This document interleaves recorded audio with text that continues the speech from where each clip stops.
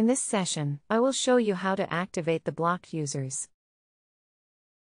To do that, click on Users from the left menu. Click on Users and go to Import menu. Select Import User Status. Click on this link to download the sample import file.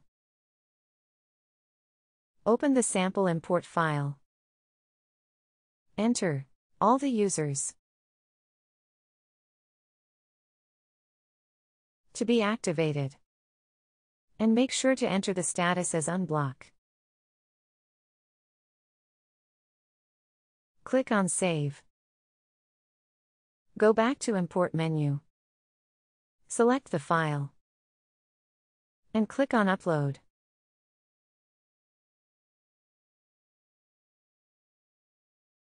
Once the file is imported, the status will be shown as in progress. And after completing the import file, the status will be shown as completed. Click on Download icon. Under Action. To give the import result, you will see a message. Users have been activated successfully.